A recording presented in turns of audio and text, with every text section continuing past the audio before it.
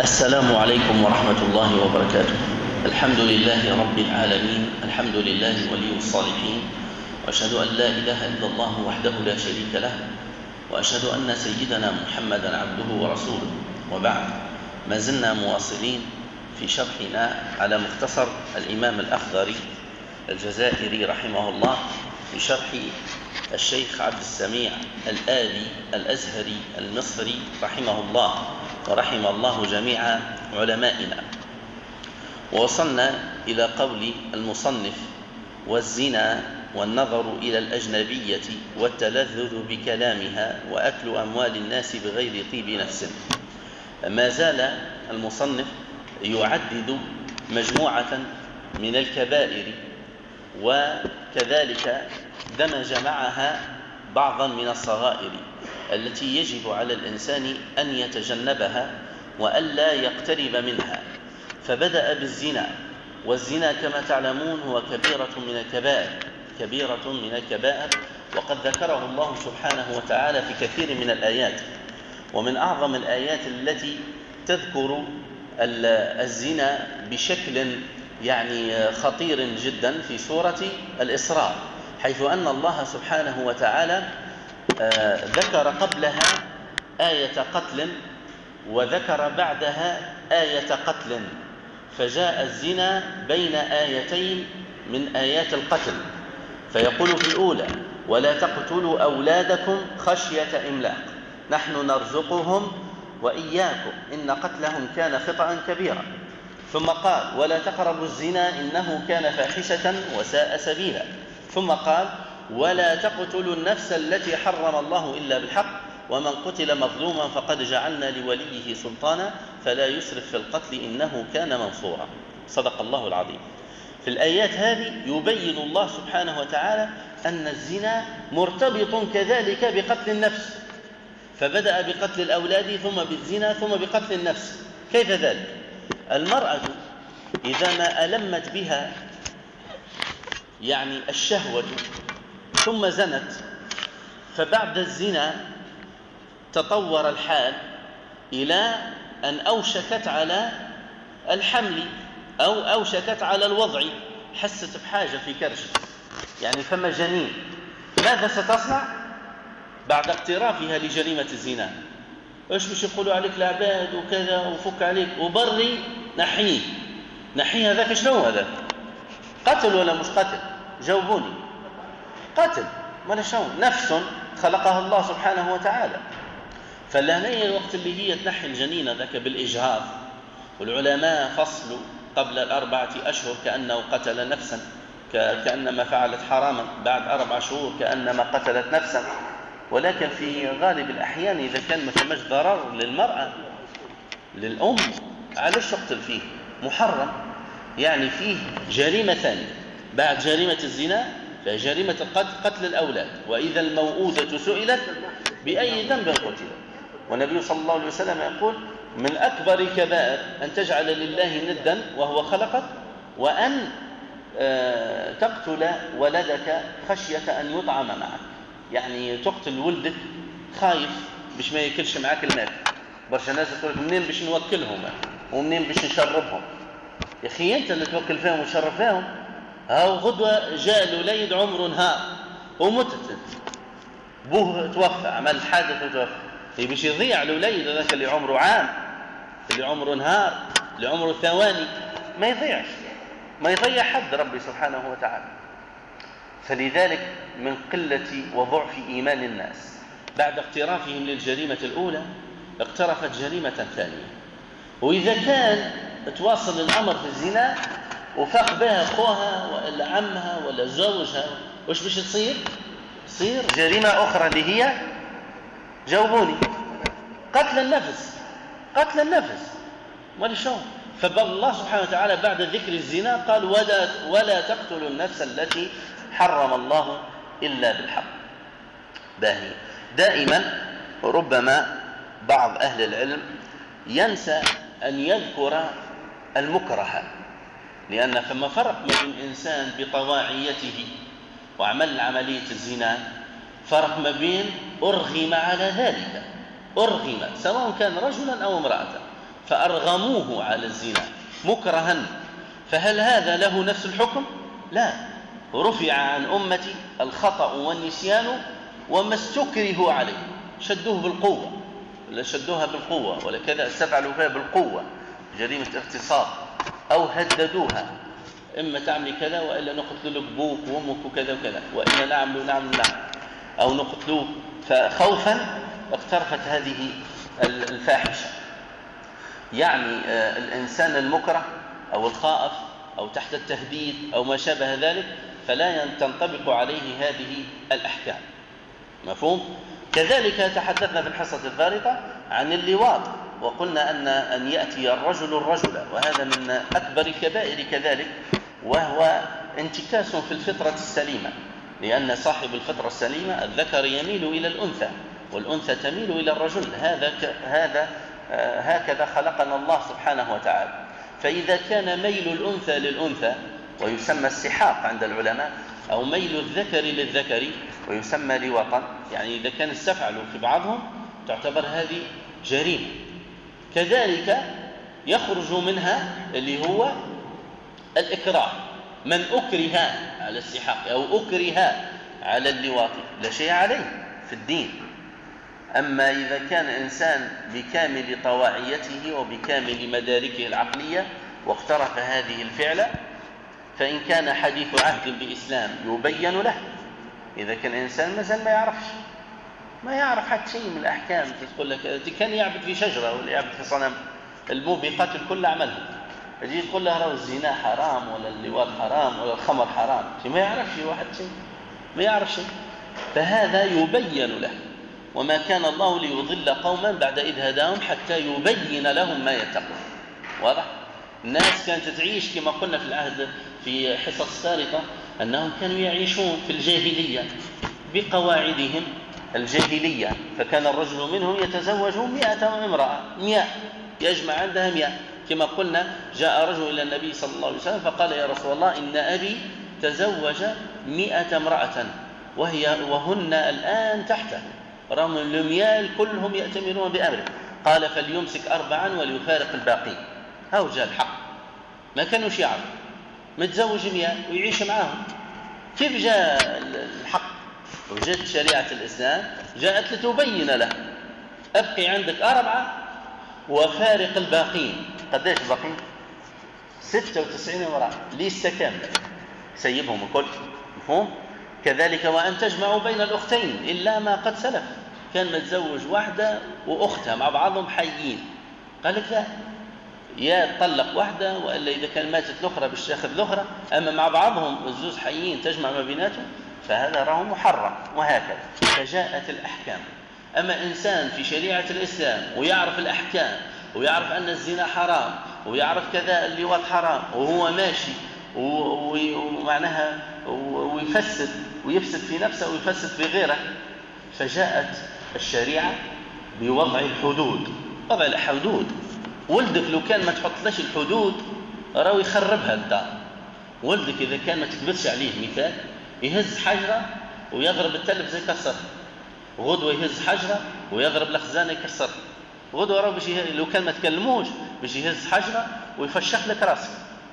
ولا يضرب أمه ولا يضرب الضيف نتاعك لأن ما فماش نوم فماش ردع. مسيب فالردع هي الحدود. الله وقت اللي يقول لك تعمل كذا أو كذا. تعمل كذا. إذا كان ما فماش حدود ضاعت العباد. ولو يعيشوا كأنهم في غابة أو أتعس من ذلك. ثم تحدثنا في الحصة الفارقة عن أن الإنسان ربما قد يلد مشوها في الخلقة يعمل عملية تجميل العمليات التجميل للرجوع إلى الأصل. لا بأس بذلك. فما حتى مش... إنسان نعرفه إنسان عادي عنده زوز عينين السيد هذا ولد عنده ثلاثة عينين. ينحي الثالثة.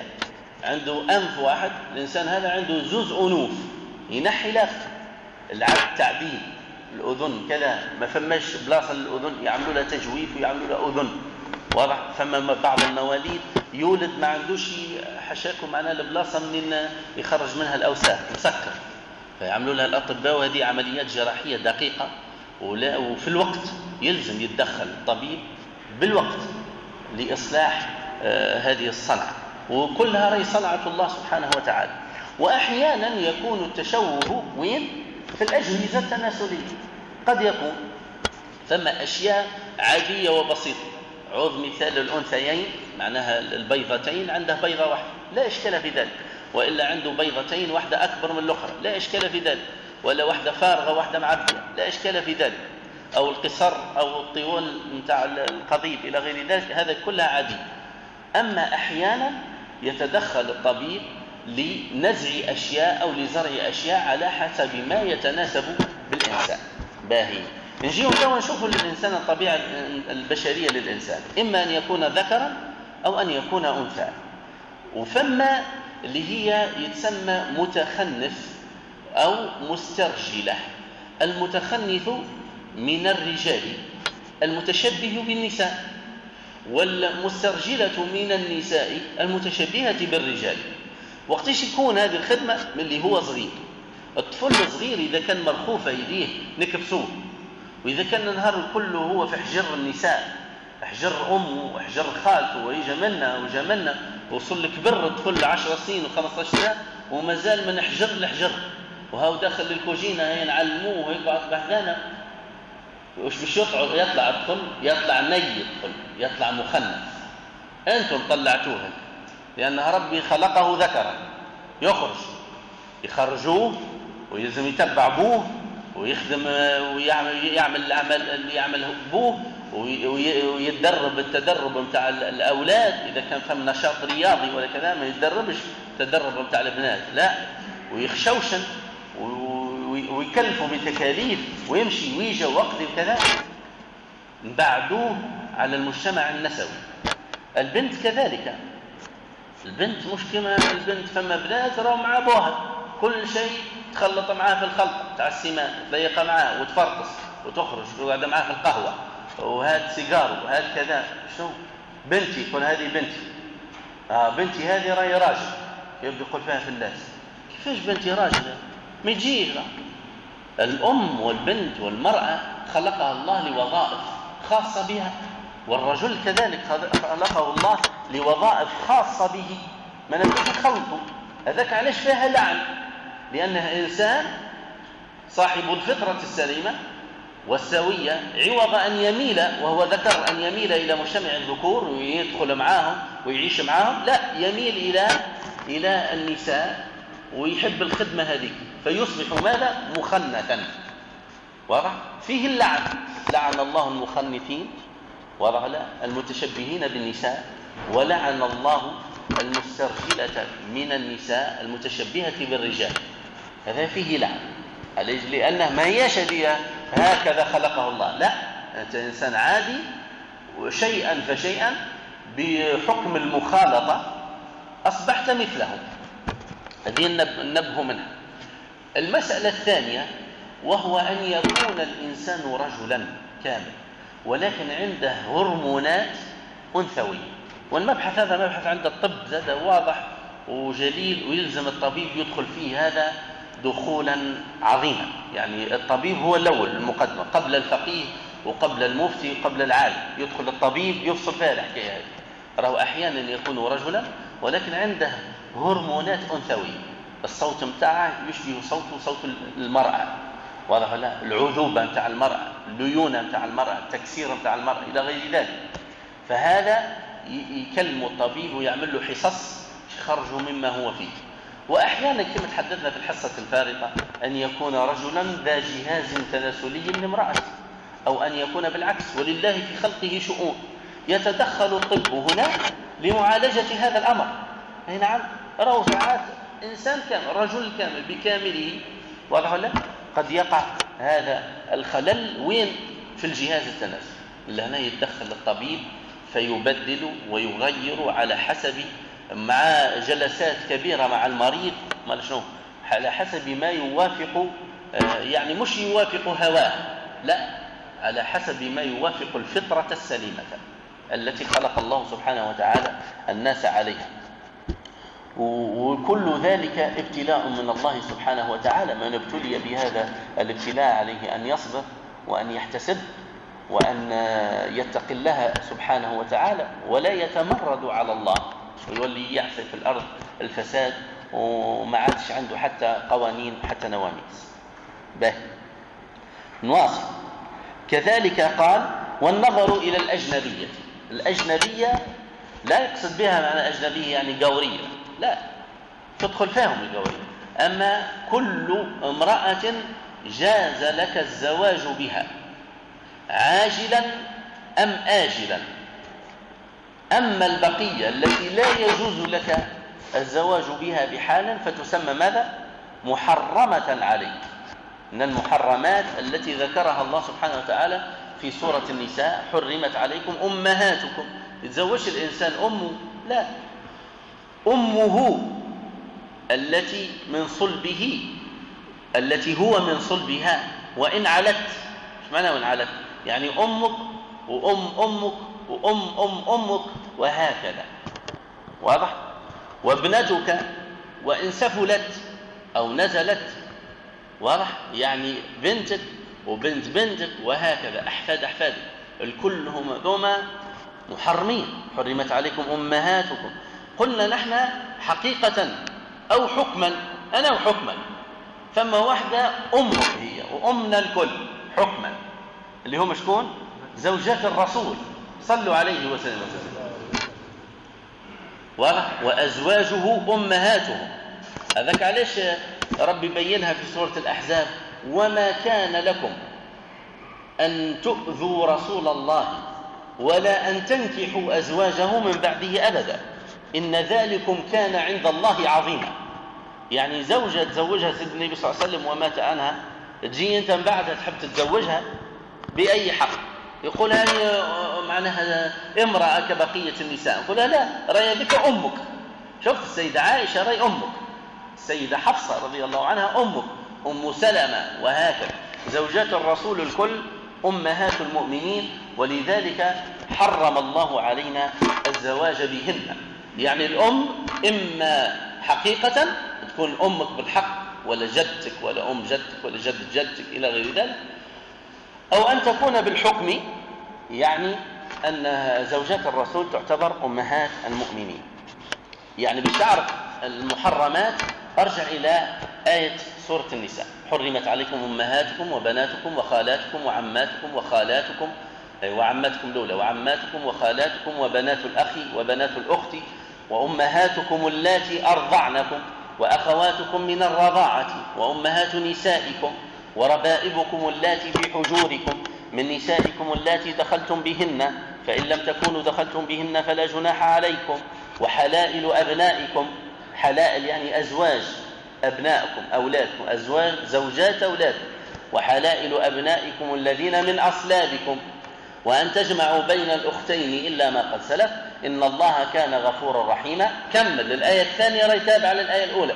والمحصنات من النساء إلا ما ملكت أيمانكم. زوجة رجل زوجة فلان. أنت باش تتزوجها هي متزوجة تحت تحت ذمة فلان. وهذا يتسمى التحريم المؤقت. فلو مات عنها فلان جاز لي أن أتزوجها؟ نعم.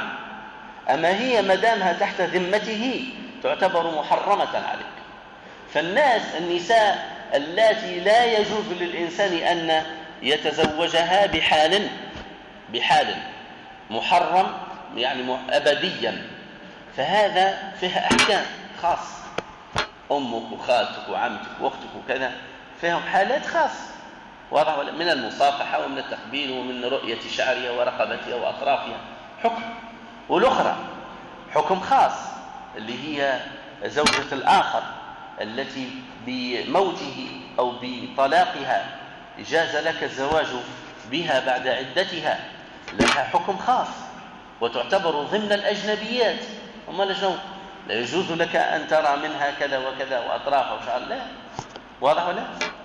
وكذلك النساء الأخرين الكل سواء كان كتابيات يهوديات نصارى نصارى ولا النساء اللي تشوفهم في الشارع الكل هذوكم الكل أجنبيات.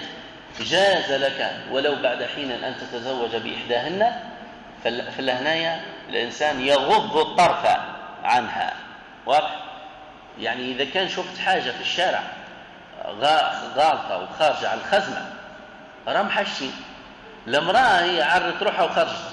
أي والراجل ما غضش البصر نتاعو فالله الله سبحانه وتعالى خاطبنا جميعا. خاطب الذكر والأنثى.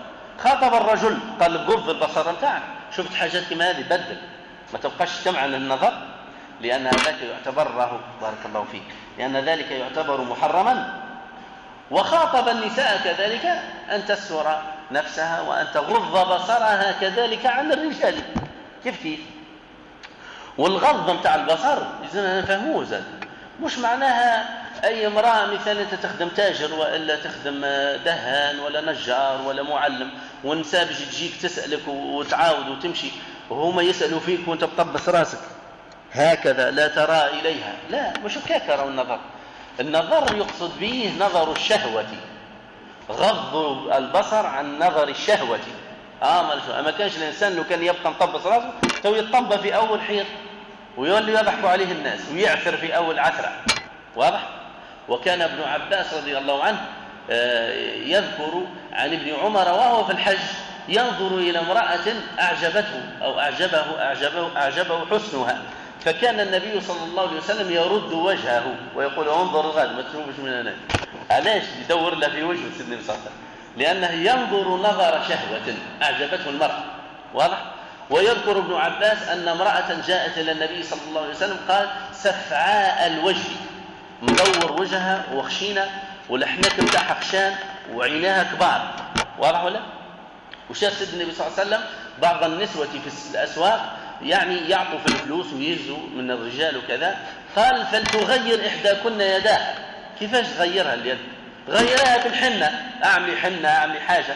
باش تميز بأنها المرأة إذا كان اشتغلت بالصناعة أصبحت يدها مثل يد الرجل. فالنبي صلى الله عليه وسلم حب يبين ويبدل أن هذا يرى خاص بالنساء وهذا خاص بالرجال. حتى ولو أنك تمتهني في مهنة شاقة وكذا ماذا بيك تبدلي وتغيري من الأشياء التي تظهر آه، أنك أنثى؟ أمال شو واضح؟ كذلك آه، بين النبي صلى الله عليه وسلم أحكام آه، معناها المصافحة أحكام النظر أحكام شريعة واضحة. ثم قال والتلذذ بكلامها. يعني مش كان العين فقط لا راه حتى الأذن عندك منافذ. منافذ اللي هي العين الأذن اللمس واضح ثم قال والفرج يصدق ذلك أو يكذب. المنافذ هذه الموصلة إلى الأنثى. الرجل يلزم يحفظ المنافذ هذه. لو كان يخليها على إطلاقها يضيع. ويوصل إلى المحظور. واضح لا ويعاقبه الشرع. قال غض البصر بتاعه غض الأذن بتاعه. كيفاش باش نغض الأذن بتاعه باش نسكرها الأذن؟ لا. وإنما إذا كان ثم حاجة حسيت بتلذذ في القلب استغفر الله سبحانه وتعالى. بدل. واضح لا؟ إلى غير ذلك. ثم سيدخل في موضوع جديد وهو أكل أموال الناس بغير طيب نفس. نزل عنا وقت ولا؟ انتهى. انتهى التوفيق. أكل أموال الناس بغير طيب نفس. موضوع هذا عظيم جدا.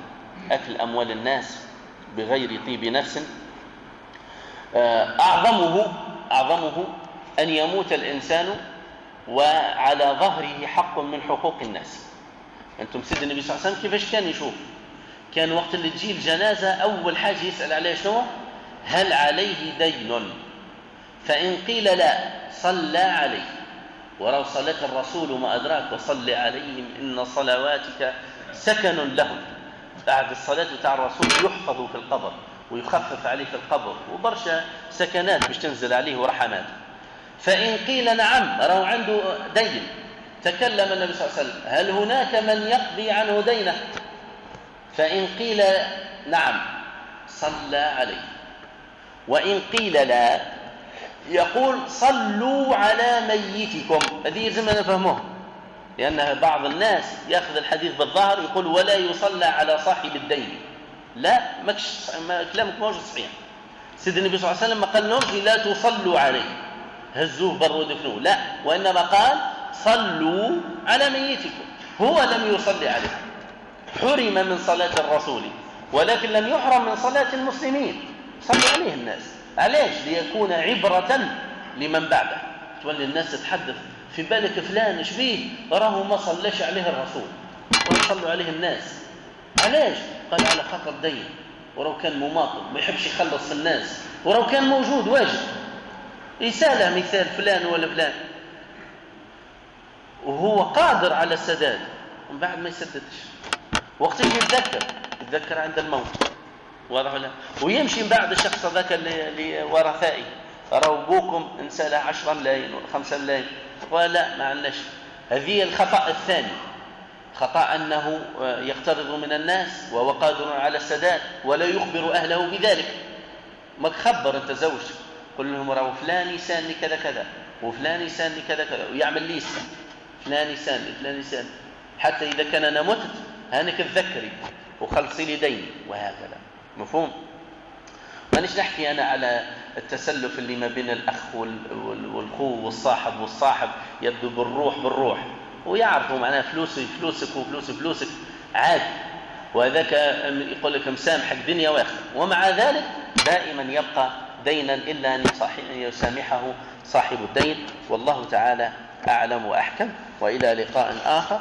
إن قدر الله البقاء واللقاء. وصلى الله وسلم وبارك على سيدنا محمد وعلى آله وصحبه أجمعين.